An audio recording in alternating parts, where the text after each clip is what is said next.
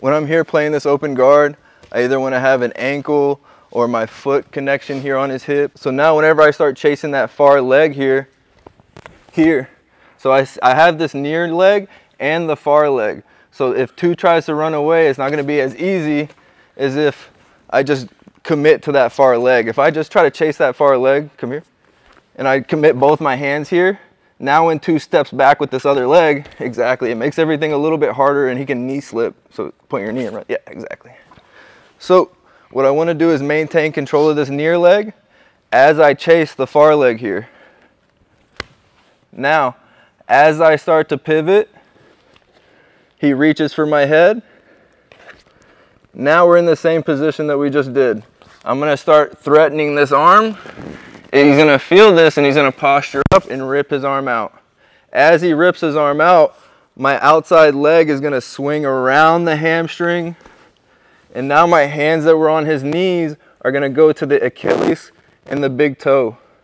I like this big toe grip because it keeps the rotation uh, a little bit more controlled for me. So I can hug his, his ankle to my chest and I'm gonna open up and I'm gonna put him down to his hip here. Now, once I'm here, my top leg, I'm gonna hook behind his top leg. So now that stops his rotation from trying to hide his heel. Now to catch the heel, I'm just gonna grab that big toe, tuck it in my armpit, hook the heel with my wrist, and now I can use my free hand to help me bend the leg as we go for the finish.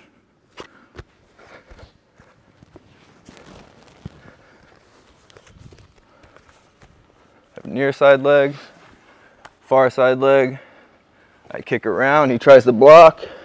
I go for that arm, he rips it out, chop the back of the leg. Now I go Achilles and big toe. If he stays right here trying to run away, I'm just gonna hook the back of his hamstring and we'll finish from here. But most likely he's gonna try to rotate. Yeah, exactly. And we put him onto his butt.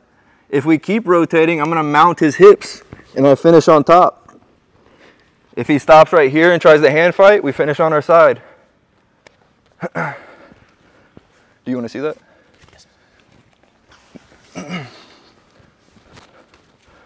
I have that far leg blocking his hip. I scoop the near side knee and the far side knee. Now I'm just pivoting around for my K guard. He's gonna block me. Reach for my hip. Now I go for the arm. He he's threatened. He rips it out. Chop the back of the leg. I go Achilles and big toe. Right here, we can go for the finish if we want, or I just finish rotating as we go for the finish. Now, for the people that aren't allowed to do heel hooks in competition, if you just want to take the back from there, you can also just take the back, right? So that's also another good option from here. Whenever I chop the back of the leg here and he tries to run away, we can climb up to the back. All right? I'll walk around and help everybody. Ready? One, two, three.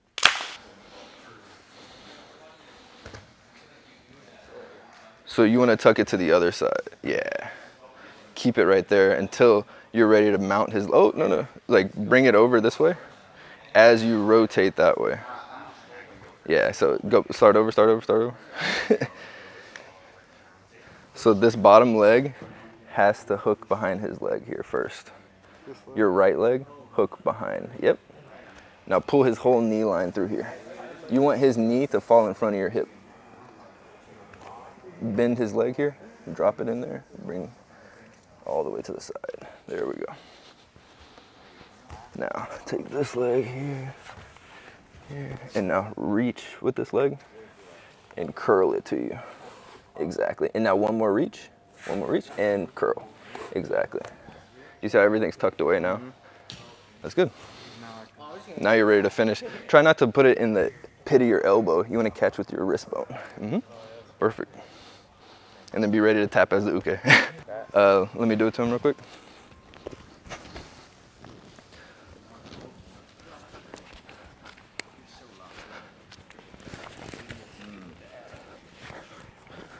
See how my hips are Elevated? Yeah, so now he has to react, right? If I'm flat like this, there's no need for him to react. He can limp leg out, right? There's no tension on his leg. Frank this? Can you, uh, Mm-hmm. Yeah, so keep the Achilles with this hand Okay. and the big toe with your other hand. So that whenever you keep it in the center of your chest here, because in the beginning it's not just gonna go all the way there, right? So he's gonna try to turn and hand fight with you. Exactly. So now you tuck it away to your armpit. Exactly. And now right here, use this hand on the mat to help you lift your elbow and slide it towards your hip. And that's gonna create a bend in his knee. You're gonna go to your shoulder though. Okay. But no, no, tuck your elbow. You gotta tuck your elbow in. There you go. Mm -hmm. Now, head down, head down. And now that's where you're gonna finish. Raise your hips off the mat slowly. Slowly. There we go. That's it.